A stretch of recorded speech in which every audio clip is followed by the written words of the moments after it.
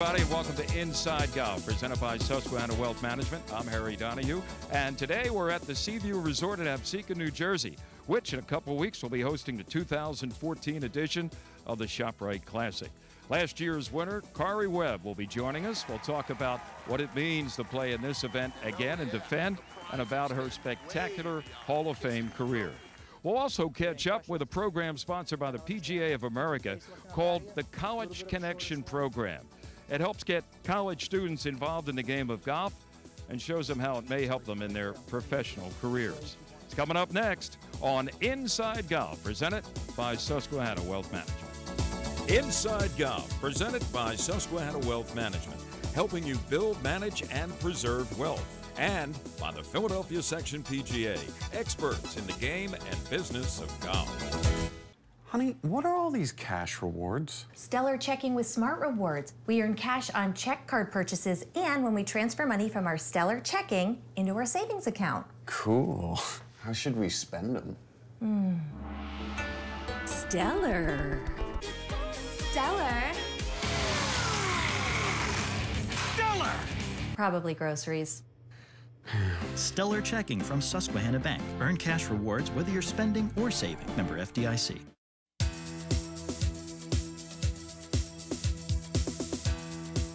Well, welcome back to Inside Golf, presented by Susquehanna Wealth Management. And we have with us the defending champion, the 2013 winner of the ShopRite Classic here at Seaview, Karrie Webb. Karrie, great to see you. Yeah, good to see you too. Thanks for having me. Special memories back here at Seaview? Yeah, definitely. I mean, I've always loved this place, uh, Seaview Golf Course, and the area in general. General, and then the tournament's always been a, a favorite of mine. And to add my name to the champions list last year was very special. You know, you talk about the names on that champion trophy, uh, some of the best in the history of the LPGA. You have Annika's name there, uh, Juli Inkster going back a little bit, Dottie Pepper won here, Betsy King. Does it mean something special to look up there at who's won in the past and now see Karrie Webb's name on that trophy? Yeah, it really does. I think um, it was just last year, um, just sitting. They have it in on one of the walls in the hotel, and and I hadn't realized how many great players have, have been champions here. So um, I don't know if it was just uh, that thought in my head that um, that propelled me to go and, and, add my name to that list. But um, this course definitely has uh, brought out the best of the LPGA you know, it brought out the best in you last year. Too. You came off the pace a little bit, right? You were what, four shots back, I think, at the beginning of uh, the final round. Shot a 300 par score, and I guess waited around to see what would happen. Yeah, um, it was a challenging last round. It was really, really windy, uh, and I got off to a great start. Birdied the second, which is a really tough, tough par four, and then eagled the third. So it really uh, put me in contention uh, almost immediately, and you know, hung on at the end to win. This isn't a particularly long course. They have added a little length to it, though. They've changed all the tee boxes and maybe added a couple hundred yards from last year. But it's a Donald Ross design. It's right by the bay, and the winds, it seems, are always up. It make it kind of, uh, shall we say, makes it a little bit tougher, doesn't it, when you look at what the yardage is compared to maybe how the course plays? Yeah, that's right. I think um, the greens are so tiny, uh, so. Uh, when the wind's up, uh, it's generally a bit of a cross breeze too. So um, it just makes those greens and those targets even smaller to hit. Um, and then the greens are, you know, they're Donald Ross greens, so that you can even have a 10 footer and, and it can be one of the hardest 10 footers you'll, you'll hit. I know I've played here several times. If you don't hit it at the right spot, all of a sudden you get that Donald Ross runoff, and uh, a three is looking like a six real quick. Yeah, that's right. Um, you know, I managed to to play the greens obviously very well last year, and um, you know, if you do miss the green, it's it's usually a tricky up and down, and and uh, I managed to, to make some putts for birdies and get up and down when I needed to. Karrie, you're from Australia, and uh, you began how old when you first picked up a golf club? Uh, officially, uh, eight years old. A real officially? A real golf club when I was eight. Um, I was playing with the plastic ones before that. How long did it take you to say, hey, I really love this game? Uh, I think I loved it you know, from four years of age. Um, I was asking for real clubs around the age of six, and my grandparents gave me a real set when I was for my eighth birthday. Um, and then I think by the age of 11, I came home and told my parents I wanted to be a professional golfer when I grew up. So. And how long did it take you to realize, hey, I can make a living at this game and I can compete with the best, and then come over and play here in the States on the LPGA Tour? Um, I think it was just a gradual progress. You know, I, I got better at every level um, I stepped up to, and um, obviously I could never imagine that my career would turn out to be as great as it has been. Um, it's it's been a very special ride, and hopefully uh, I can add some more special moments before I'm done. 75 wins, I think, internationally, some 40 or more here in the States, and seven majors. You still got a couple majors left in you? I hope so, yeah. Um, you know, I've obviously started off the year uh, well this year, and, and I had a good year last year. So um, the goal is to, to give myself uh, some more chances uh, to win majors. I mean, they're the, the biggest ones we play, so it'll be nice to add a couple. You know, on both tours, uh, the men's PGA Tour here in the States, the LPGA Tour, every year we see some new blood. And uh, now, of course, the hot topic, I guess, on your tour is Lydia Ko, 17 years old. Uh, she's pretty good, isn't she?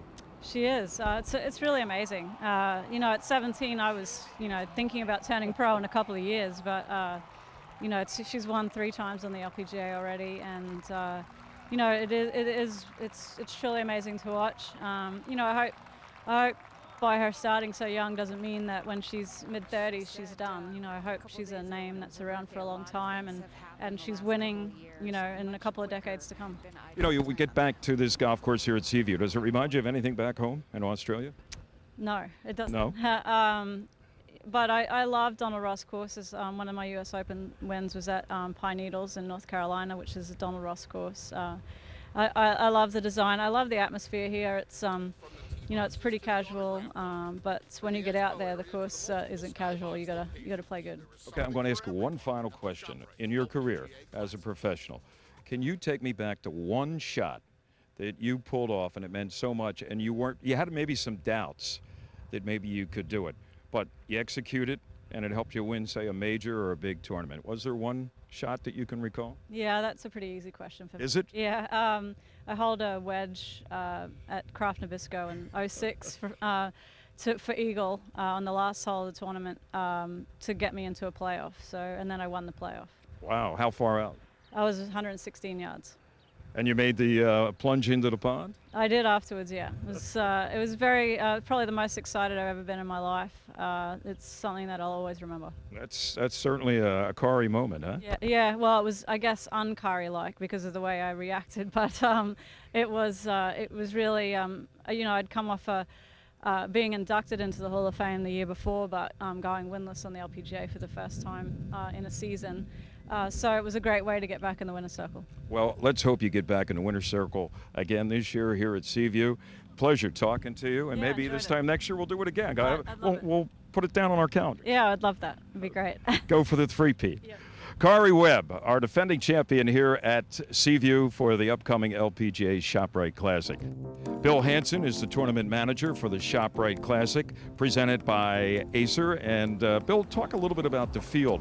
How many players do you have in the field, and tell us about some of the names? Yeah, great, Harry. Um, we have 144 uh, players in the field. Um, right now, we have 95 of the top 100 on the money list. We have commitments um, and 10 of the 10 uh, top Rolex uh, world ranking players. So that includes Lydia Ko and uh, obviously Stacy Lewis, Inbee Park. So we have obviously one of the strongest fields. So you have a, a who's who of uh, the LPGA Tour coming back here to Seaview. Absolutely. We have every winner on tour so far this year. Lydia Ko, Stacy Lewis, Paula Creamer, uh, Michelle Wie. So we have a very, very strong field this year. What is it, do you think, the attraction that brings so many people back here year after year of the top players?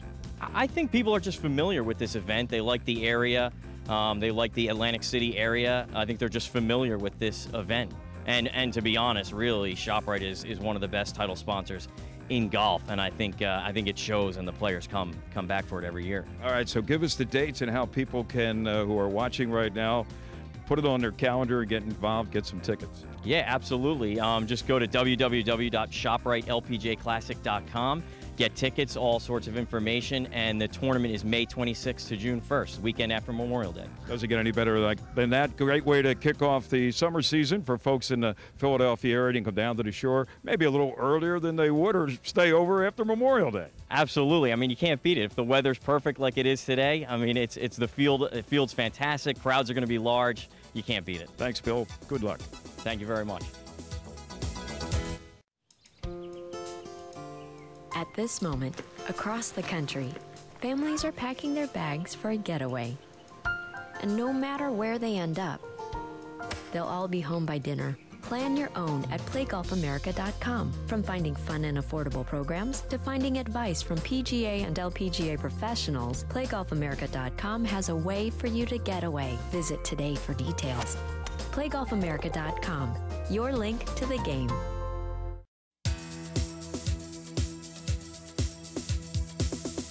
Welcome back to Inside Golf, presented by Susquehanna Wealth Management. You know, anyone involved in the game of golf would like to see the game grow, get people involved who up to this point haven't been. The PGA of America has sponsored what's known as the College Connection Program. And Lila Mackey from the Philadelphia section of the PGA recently went to Philadelphia Country Club with a group of students from Villanova University.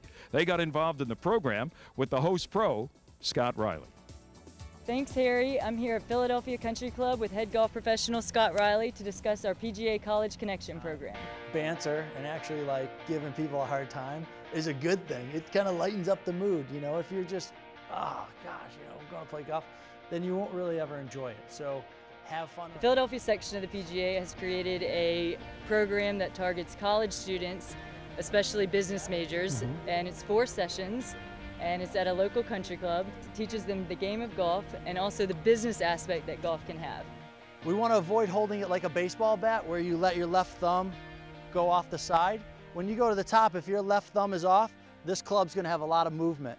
So that's why the left thumb going down the shaft is really important. Seeing business and golf and how it mixes so well, what do you think students will gain from this after doing a program like this? Students not only are going to get the basics of what they need to be able to go out to the golf course, and have a good time, but they're also going to uh, take with them some cause and effect relationships of shots, um, the knowledge to be able to go to the golf course, understand some of the etiquette principles, be able to carry themselves, look like they know what they're doing, and be able to you know, have an, have an impact on the game where hopefully they're going to get more involved with it. It's really, it's really key to try to get them spurred um, to want to pick up a golf club, find a way to be able to get reintroduced to the game again if they've been away from it for a while. So that's really important. And most of these people were senior, most of these students were seniors Correct. going into the business world. Hopefully when they get invited to play in a corporate outing, the networking aspect is huge, Absolutely. especially for females. It's a really big um, advantage for females to be able to play golf in the business world. What do you think, doing it at a private club, what do you want them to take away from the private club experience? Yeah, I mean, obviously many of the students, the only time they're really getting to a private club is either a relative has invited them to play, they may have been to a private club for a wedding. So they get to look out and see that beautiful golf course and never get the opportunity. So here at Philadelphia Country Club, we tried to take them out onto the golf course. We brought some of those key things to them to allow to see the facility. Um, you know, public golf courses, we'd love for them to take more initiatives, to have programs and continue to do their things to grow the game of golf. Uh, and hopefully open their eyes to the private club experience of maybe a little bit more serene. Uh, we, take, we took them out to a setting where it was just them at, like one, at our practice hole.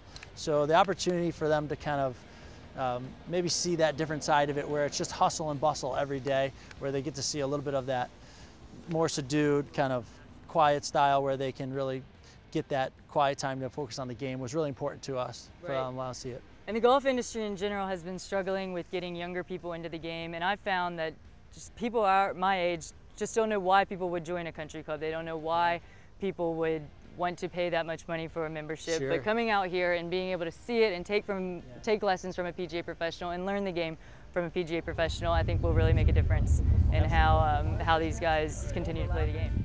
Thomas is going around checking grips there. How tight should we hold the club? Scale of one to ten. What do you guys think? Four. Yeah, about a four. Really good. So if we can be in, a, in about a four, if we go ahead and bring the club vertical right up in front of us. Very good. Awesome. If you go as light as you possibly can, the club's actually going to be. I think it's a great networking tool. Um, it's a sport that you can carry with you for your whole life. Um, and it's a great time to, uh, it's a great way to get to know someone for an extended period of time and build a lot of relationships. I was so far behind because I didn't start until I was 21, so I thought that there would be no way that I would be able to compete and play with friends and that I would just slow everybody down if I was ever to play. So this, taking five lessons and learning how to drive, how to use an iron, how to putt, and how to use a pitching wedge, just makes me feel like I'm all set to actually play a full game. You guys are all pretty smart, so you're you're in you're some of you are seniors, so four years at Villanova. We'll see if this is. So what did Sir Isaac Newton say? He said, "For every action, there's what? equal and opposite reaction." So golf is kind of the opposite that way. We need to get the leading edge of this club right here to the bottom of this golf ball. Okay? A golf ball has a dimple. The dimples are what create lift. So all we need to do is try to get this ball to roll up this mini ramp. When I first kind of approached the game, it, it, it, seemed a much more difficult sport to get into, maybe versus like basketball, where you could just go and pick it up uh, and learn very quickly. It seems like a game that has so much muscle memory involved that it would be difficult to just jump into that setting. So having a program like this, where you could really be exposed to the sport and learn the basics um, the right way from the get-go, was just a great way to, uh, to learn it more of a pitching wedge, sand wedge. Now, from the, over the long haul, you know, if they continue with it and they see that, maybe the private club that they, they got to see during these lessons might be a, a club down the road that they may even want to um, join. You know, those networking opportunities, those opportunities to, to be with prominent maybe business leaders, um, other figureheads that may be members at some of these private clubs will allow them to, um, you know, grow in their professions, allow them to establish lifelong friendships, hopefully, and get to be a part of uh, a place where they feel like they can call home and allow their families as well to grow at the in the private clubs. So it's really an important aspect. Um, not only at, at the private clubs, but at the public courses as well. They yeah, can experience the same thing. I think um, I think in this market it works really well. Villanova, obviously, right here, mm -hmm. and Philadelphia. People don't really like to leave Philadelphia. No, hopefully they'll want to stay for a long time. when they were born and raised here, yep. it seems that they stay here, and um, so hopefully it'll benefit your facility later sure, on absolutely. and other facilities in the area along with the game and industry as a whole. Yeah, yeah, we're happy to do it and uh, we thank the Philadelphia PGA and uh, the PGA America and their continued efforts to grow the game. And we recognize that this age group of, let's say 18 to 34 year olds, college students, can, can really be a vital part of growing the game again. So we need to do everything we can to, to continue to focus on this um, demographic and continue to get them involved. So if you're, if you're close and you're here just off the green, go ahead and putt the ball. That's your least risky option. Team matches, the Golf Association, all the handicapping, everything is so different. It's just a totally different. When you step out, make sure you go all in. Because at Valley Forge Casino Resort, we're rolling out the action. And we'll bring it all to the table. So take us for a spin and go all in for the win. Valley Forge Casino Resort. It's safe, it's chic, and only a shuffle away from the main line. Guests of Teed Off receive gift certificates to any of the eight restaurants at Valley Forge Casino at King of Prussia. Do well. Now you have to operate a business. Uh, you know, we got big. Welcome back to Inside Golf, presented by Susquehanna Wealth Management. It's time for Teed Off. We're at the Valley Forge Casino, specifically the Pacific Prime, which is uh, one of Tony Clark's great restaurants here at the Valley Forge Casino Resort. All right, our panel today includes we have a newcomer. We're going to break him in today. Jim Smith Jr. from the Philadelphia Cricket Club is here. Jim, good to see you. You're Thanks all for having me. out. Appreciate it. everything ready to go. Joe Logan is no stranger to Inside Golf and Teed Off. Joe with myphillygolf.com. That doesn't mean you're old. It means you're appreciated, Joe. You know that. Thank you very much. And Bob Shepard, another regular here on Teed Off. Bob, of course, an author. He writes his blogs. And he once in a while gives a lesson or two at Five Ponds Exactly. up in Warminster. Yep, good to see you. Shep. Good to Okay. be here. You know, we have uh, two golf pros and Joe Logan, who knows a lot of golf professionals, to talk about the topic of how has that profession evolved over the years. Now, Jim, I hope you don't mind. I'm going to begin with the senior golf pro here, and that would be Mr. Shepard, who's been uh, a professional for, well, let's say, what year did you start? 71, 1971. 1971. So you got a few miles Yep. on was- that career in- of yours. Been in golf since 65. What My was your dad was a first job as a Sandy Run. As Oh, as an assistant? As an assistant. Assistant, I went to Glen Oak in Clark Summit, Pennsylvania. Yeah, great job up there. Uh, I was assistant to a fellow named Jerry Port, good friend of Doug Sanders, and had a lot of tour connections. And it was a wonderful job. He was a big hitter, and I was a big hitter, so we had a lot of a lot of had a lot of big hits. a lot of big hits going, which was fun. Then from there, I moved down to manufacturers, and then on the Sandy Run, I became the head pro there when I was 26. So how many years? Only about four or five years before you were running the show. Exactly, At yeah. Sandy Run. Yeah. Uh, give me an idea of what you were doing as an assistant pro. What were some of the responsibilities? Yeah, you know, it's funny. When I turned pro in 71, it, it, if I had turned pro in, I think it was December of the year before, I could have been a Class A professional as I signed the paper. When I signed up, you had to go to all the, the educational seminars, which Jimmy's very familiar with now. They've become very, very pronounced and very necessary in golf. And when I was an assistant moving into the pro ranks, it was if you could teach or play. And nobody cared about selling shirts or shop conditions or anything. The best teachers, the best players were the ones that got the best jobs, and that was where we were.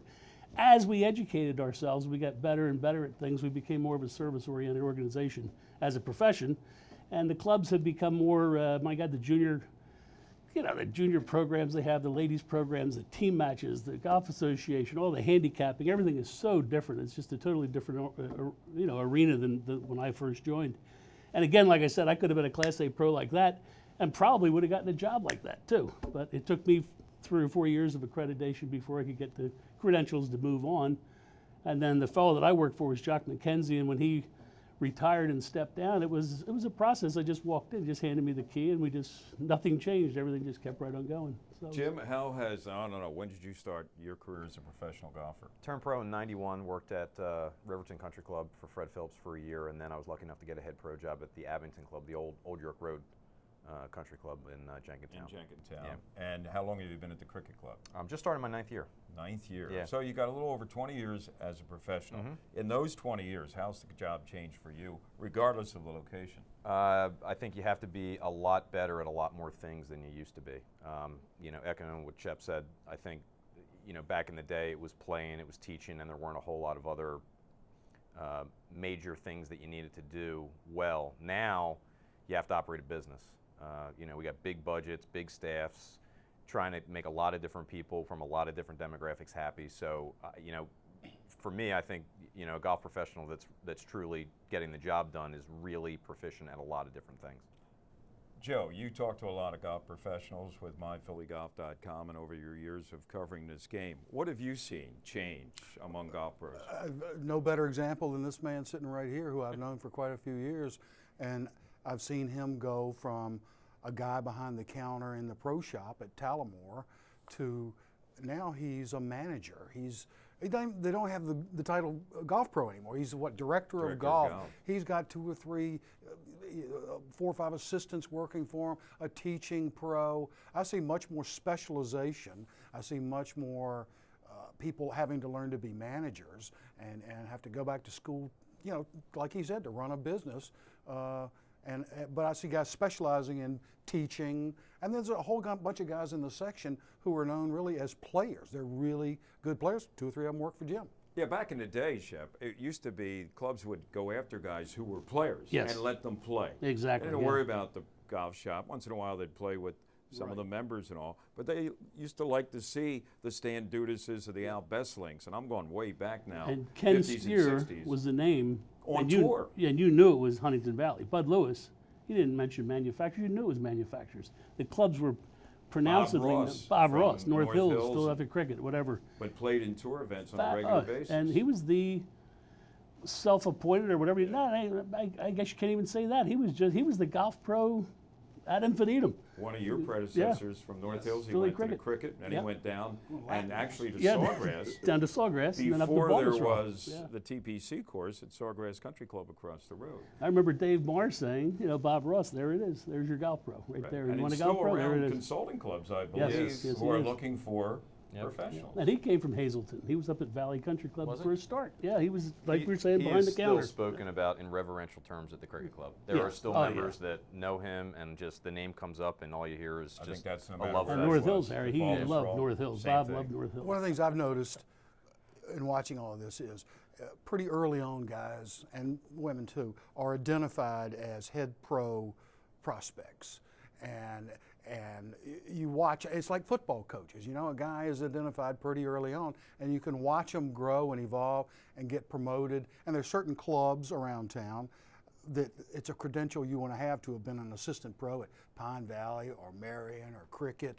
You come out of there, 26, you're head pro material. Poof, You're you're, off and running. anywhere. Right. Yeah. And then you're picking guys just like head coaches do. You're bringing your guys like he did when he went to cricket. I'm sure you get a lot of people from all over the country now inquiring about, can I get on the staff? We're, cricket we're club?" lucky. I mean, you know, I'm lucky to be at a phenomenal club, great membership. They're incredibly supportive of the golf professional staff. Um, we're, at a, we're at a big club, so there's a lot going on. So when staff from cricket applies for a job, let's say at an 18 hole place, in general, it's probably not as active and not as busy and not as big as what we are. So that's actually a good thing when searching for jobs. And I like to tell our, our, our staff, I mean, each person that progresses into a new job, whether it be a head pro job or even in some cases it's an assistant's job at a, at a, at a nicer club, maybe in a different ge- geographic region, it makes getting the next guy that much easier. It's gotten to the point now where, you know, we're lucky that I do get a lot of unsolicited resumes and um, frankly, I don't actually pick most of the guys. I actually let the staff do most of the interviewing because that's who they're going to end up working the most with. Final question, how many actual 18 hole rounds do you get in in the course of a year? I'm a bad guy to ask that question because I have such a good job.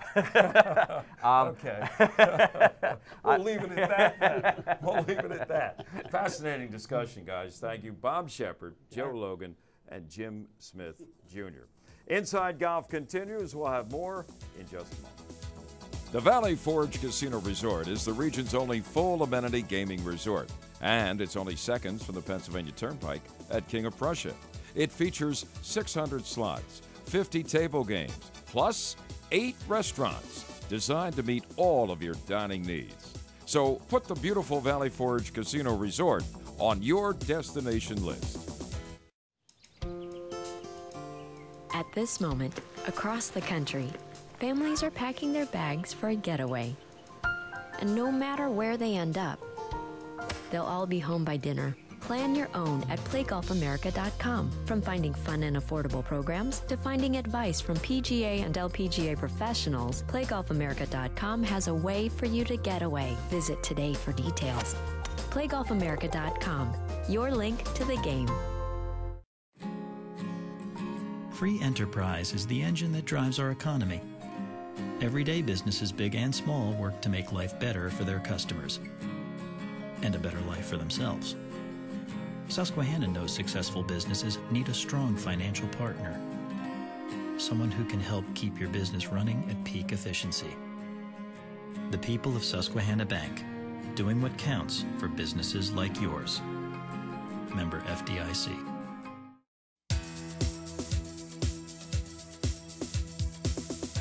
Well, that's going to do it for this week's edition of Inside Golf. Don't forget, right here at Seaview, coming up, the dates are May 30th, the 31st, and June 1st. It's the annual LPGA ShopRite Classic presented by Acer. And our thanks to the defending champ, Karrie Webb. As I said, I hope Karrie is back next year looking for the three-peat here at the ShopRite Classic at Seaview. Also, our thanks to Lila Mackey and Scott Riley for introducing us to the PGA of America's College Connection program. I'm Harry Donahue. That's it for Inside Golf. And remember, whenever it's gone bad for you out there, don't pick up. See you next week on Inside Golf, presented by Susquehanna Wealth Management. Inside Golf, presented by Susquehanna Wealth Management, helping you build, manage, and preserve wealth. And by the Philadelphia Section PGA, experts in the game and business of golf.